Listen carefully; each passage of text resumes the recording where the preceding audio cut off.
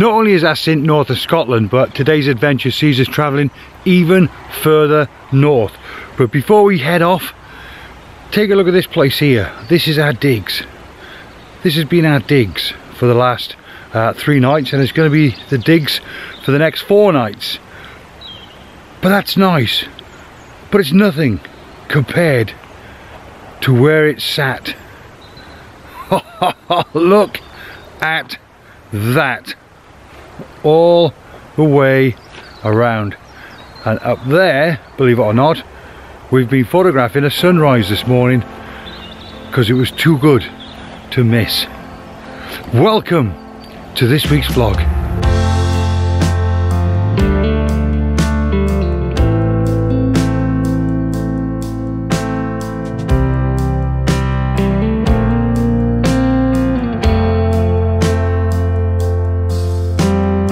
So as you know from the introduction this morning, we've got to travel north, even further north than where we were actually located, where our digs are at, for about an hour and a half at least, possibly two hours.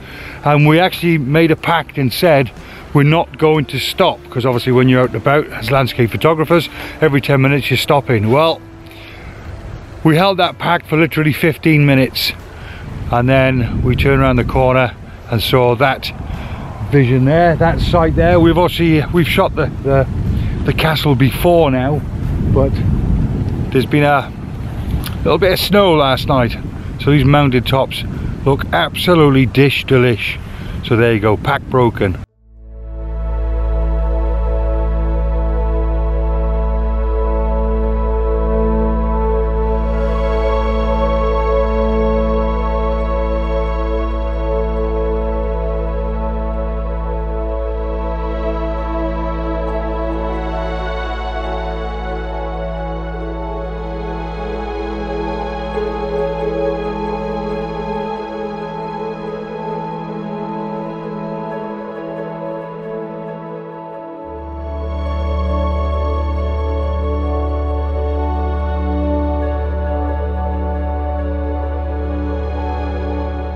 Now I said today is all about a 15 stop challenge and let me just explain the reason why I bought a 15 stop filter. I bought a 15 stop filter probably seven a good seven or eight months ago and I haven't used it up to press. But the reason why I bought a 15 stop filter in my own mindset was not that I wanted to turn up to the seaside and start taking 8 and 16 minute long exposures. It's just realistically I'm happy for that one two and four minute exposure but I wanted to have the ability to shoot that length of time in the middle of the day on a bright sunny day. That's the only reason why I bought a 15 stop filter. I'm not suggesting for, for one second that I don't um, maybe venture into the extremely long shutter speed world. Maybe I will do I'm not quite sure yet but uh, yeah so just in case you're wondering the reason why I bought a 15 stop filter is just simply so I can shoot that one two or four minute exposures during a bright sunny day. That's it. Simple as that. And a great example of my thought process there is we're driving alongside this loch and we've just seen these gnarly trees placed perfectly on little tiny islands. So for me, that's a great opportunity now to shoot a long exposure and try and do something a little bit different. Now I know uh, with uh, using my Lee app that 125th of a second will give me a four minute exposure a 250th of a second will give me a two minute exposure so they're pretty much my target figures so having said that I reverse engineer it I shoot obviously in manual, but I've now set my shutter speed to 125th of a second, and then simply adjust my ISO, my aperture, till uh, obviously the light meter or the histogram is exactly where I want it to be. That's it, 125th of a second, drop the 15 stop filter in, timer on there, four minutes, bish bash bosh, and the picture looks like this.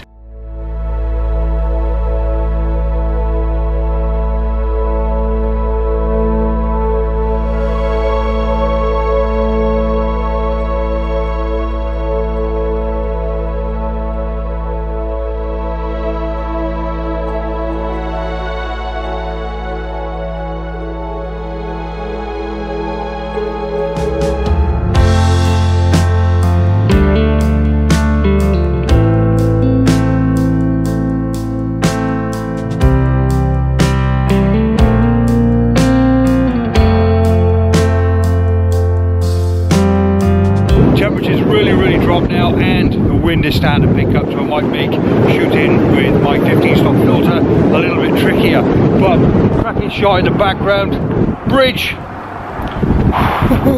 it's not just a bridge, is it? Let's be honest. That's not just a bridge. Bridge, snow-capped mountains in the background. Delightful. I've already taken a six or seven pano shot because, I mean, well, you've got to. That's just the law while you're here. To tell you, I've no idea how I rushed out the van without my hat. But, yeah, that snow is definitely, definitely on its way. But, on a very special location lined up to shoot this afternoon that I'm very excited about. Nicer than this.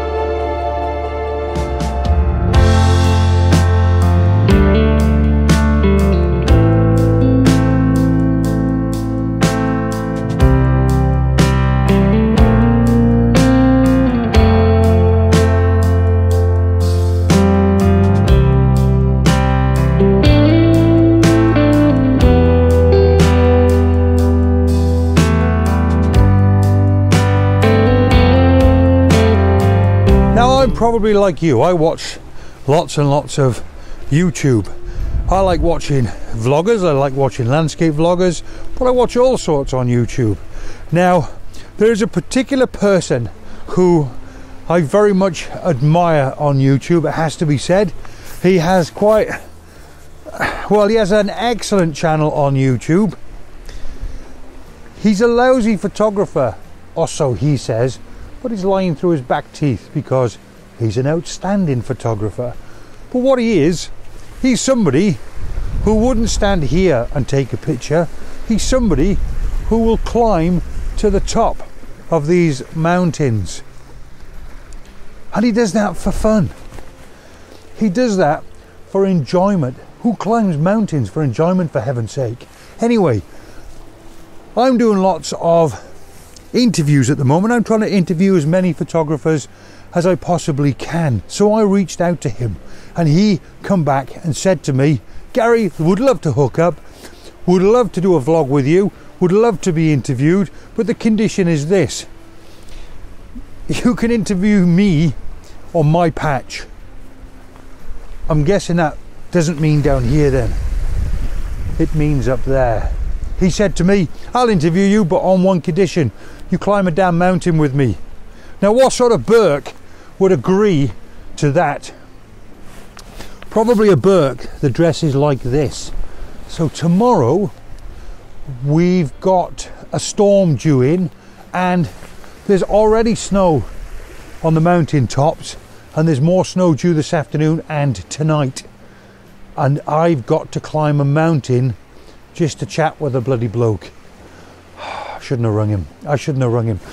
Fingers crossed I'm meeting him tonight. I'm not going to say who it is. That's going to be a bit of a surprise, but that's either coming up next week or that's coming up the week after. But I am super, super excited. It's somebody who I very, very much admire. Somebody who I've reached out to a long time ago and I didn't get the opportunity at that point. But now I'm in his patch. He's agreed to meet up with me. So I'm super excited about that. So there you go. That's a little bit of an advert for something that's coming up on my channel next week or the week after.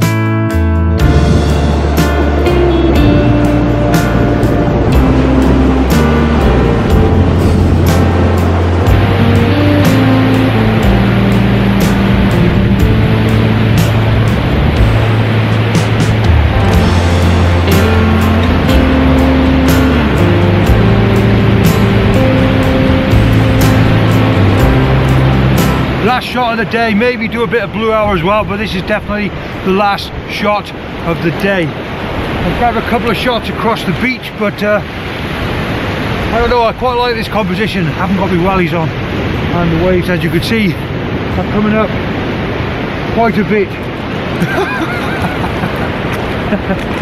Um, I haven't got anything underneath the tripod tripod legs either so the chance that might be sinking in the sand. But I'm only opting for an 8 second exposure so fingers crossed if I take a few of them one of them will work. Right gonna call that it. I'm out and about again tomorrow. Um, I think we're going around the south of the island tomorrow so next week's vlog will be completely different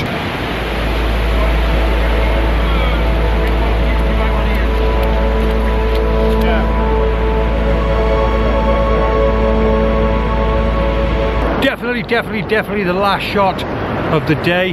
Um, going for a really minimalistic feel. I've isolated one rock and I'm going to put it right in the center of the frame. Two-thirds floor one-third sky. It's after sunset now so I'll probably keep shooting this until we go into the blue hour. And all I'm doing on a six second exposure I'm actually photographing it as the tide is coming in certain times because a tide is coming in like now and it's stopping around about a third of the way to the frame. So it's giving me a nice line which is creating a third of my image. And then every now and again we get a big wave that comes up and around us. And in which case I'll take the picture as it starts to recede which is really nice because it gives us all those trails and lines which end up as leading lines taking us to that rock. A really minimalistic feel but again absolutely love and adore it. Right so that is it. I'm going to pull the plug on this uh, vlog. This is part two of my trip around Assynt and I must admit um, it's breathtaking. It's absolutely round every corner is breathtaking. So thank you very much Steve for sticking with me on this vlog. Part three will be out I think in a few days time or next week. Do check that out. Okay, first time here uh, give me a like, give me a, a, subscribe if you think my content is worthy of it and hit that notification bell to see part three. And if you haven't already watched part one, go and watch part one.